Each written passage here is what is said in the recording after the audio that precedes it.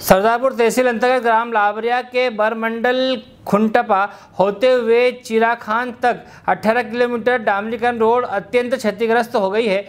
क्षेत्रीय विधायक प्रताप गरेवाल द्वारा मंगलवार को क्षेत्र के ग्रामीणों के साथ मिलकर नवीनीकरण हेतु स्वीकृति प्रदान करने की मांग की है।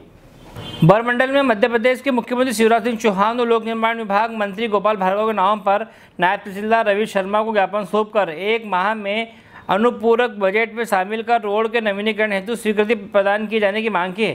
साथ ही लाबरिया गौशाला में माही बाँध तक डांबरीकरण, रोड के नवीनीकरण की मांग को लेकर ही प्रदेश के मुख्यमंत्री और जल संसाधन मंत्री के नाम ज्ञापन सौंपा है। कांग्रेस पार्टी द्वारा क्षेत्र जनता के साथ लोकतांत्रिक तरीके चरणबद्ध आंदोलन किया जाएगा, जिसकी समस्त जवाबदारी प्रशासन की रहेगी, जिसमें बड़ी संख्या में कार्यकर्ता और ग्रामीण जन उपस्थित रहे।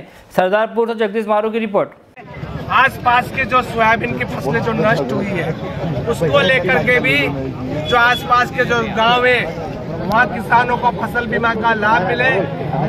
उचित सर्वे हो और किसान की उपस्थिति में सर्वे हो, यही हमारी मांग है। साथ ही साथ किसान की आय दो गुना करने का केंद्र की सरकार का वादा था।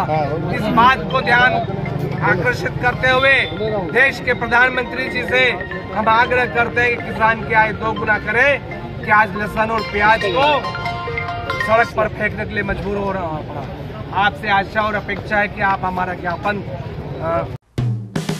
हेलो फ्रेंड्स आप देख रहे हैं हमारा channel S W twenty four news हमारे सारे वीडियो सबसे पहले देखने के लिए आप हमारे चैनल को सब्सक्राइब करें और पास में लगे बेल आइकन को दबाना बिल्कुल भी ना भूलें।